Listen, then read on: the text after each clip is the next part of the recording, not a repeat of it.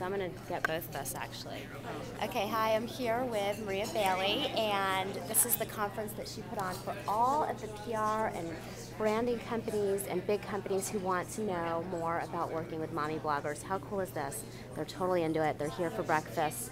And um, what do you have to say about it, Maria? Well, we're very excited because we're trying to educate companies on how to work with mommy bloggers because there's such a good opportunity and mommy bloggers are always asking, how do Yeah. we get to these companies? So Yeah. that's what we hope to accomplish today. Awesome. All right, and this is our panel, and uh, so we have Andy from Mama Knows Breast and Kelsey, and uh, my seat there, which is empty because I'm here, and we have the design designer mom, and we have Amy and another Amy and Kim.